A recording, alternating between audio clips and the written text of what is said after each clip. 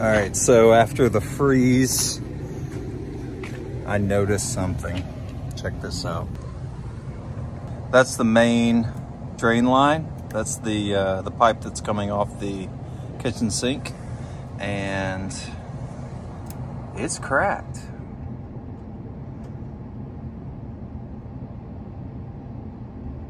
Good times. There shouldn't be water in your drain pipe.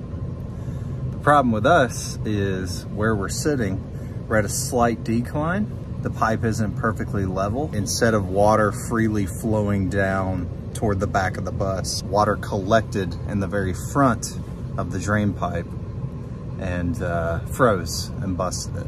Not only do we not have water, uh, we can't even drain water. So we're having uh, we're having fun over here. Tons of fun. With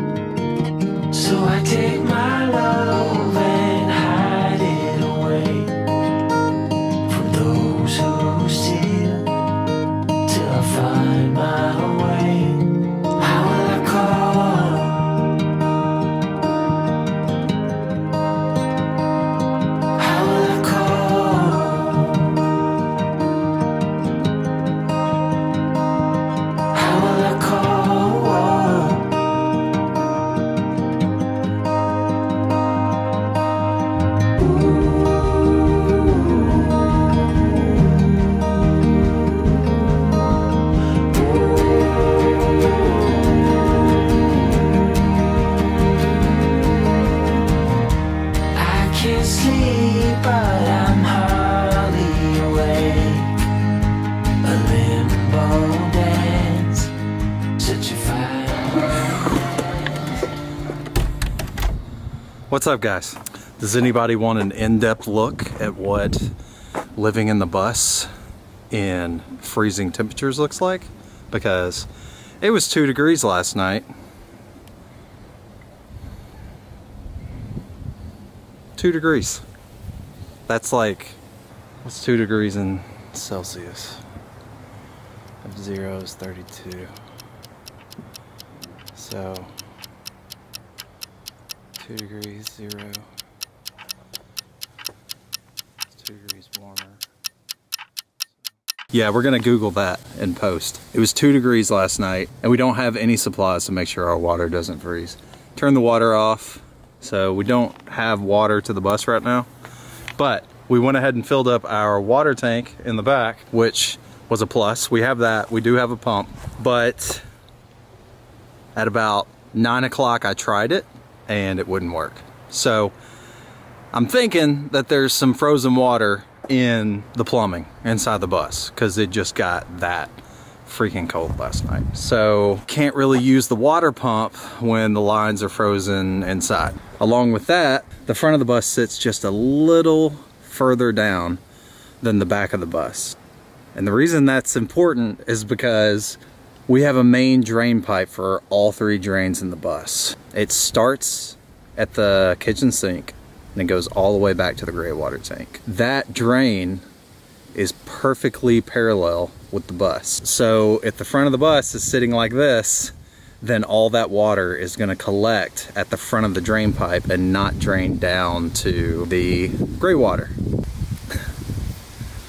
So now We have frozen water in our drain as well. We have water in our sink and it won't drain.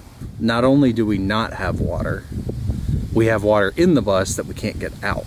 But hey, tis the life living in a schoolie.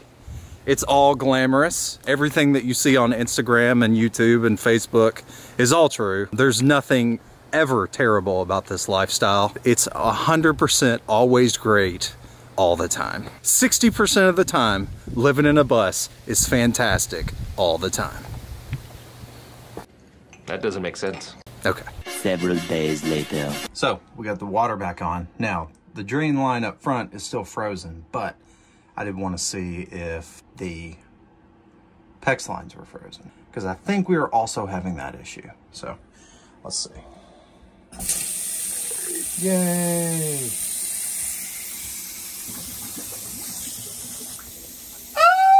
okay? So uh things just uh yeah, sorry sorry about the scream. when I drain water into the sink in the bathroom, gross water comes out of the shower, Ew. which can only mean that the P trap underneath the shower, which is outside, is frozen. So this drain leads to that P trap and the drain and the shower both use the same P trap. So that P trap is frozen. Okay, when you say P trap, is it like the letter P?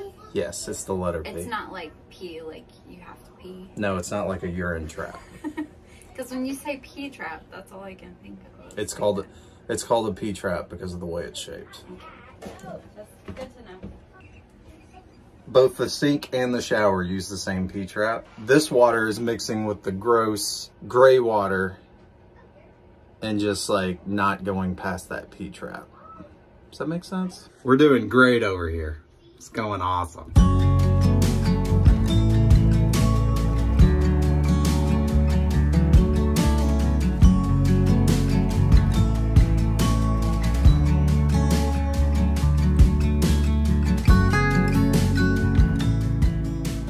Okay, so fixing the plumbing is gonna have to wait until tonight. We are leaving Tennessee and going back down to Mississippi, a little bit further south than we're used to, around Tupelo, Mississippi. I just hope that I can fix the plumbing issue at the state park without causing a disturbance for the neighbors. That's the pipe coming from the kitchen sink. And then that is the main drain right there. It's cracked all the way to about right there. So we got to replace that pipe right there and then get a inch and a half pipe to go from there over to this two inch drain pipe. I just have to go back to the hardware store and get some, God, I'm covered in mud, some fittings to make all that fit. It's warming back up. It's not gonna be freezing temps for the next 10 days. We're back to running water. We gotta fix this first. But today's moving day, so we're gonna move back down to Mississippi first and fix it there. Cross our fingers that nothing ha nothing else happens to the bus on the drive. You ready to hit the road? Yes! You are? Yes. Okay. Me too. After years with the blues, oh, you know, you know about them ice and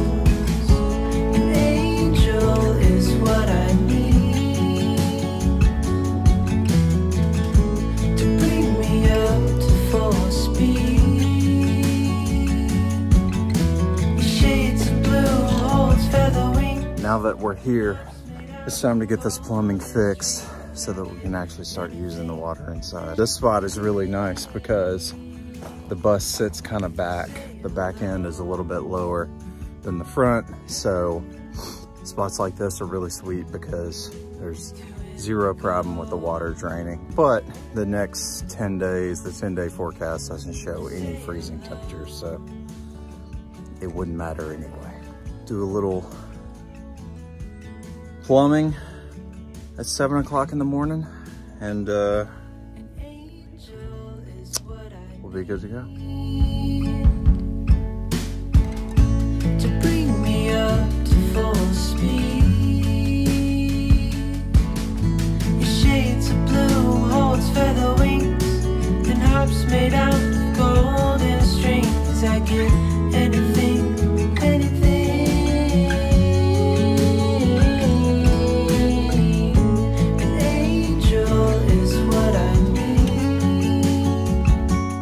Done. No leaks.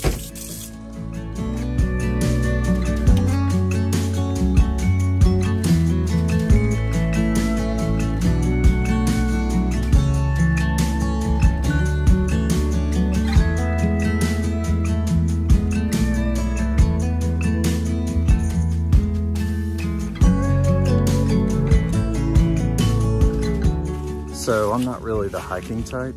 Today, I'm reminded the choices that we've made over the past two years of building the bus, just choices we've made to better our lives and to give the kids like a much more full life and something that they can look back on and cherish. But then sometimes you make choices that you regret. Like for instance, before we went on this hike, I considered taking a nap. What's up? Nothing.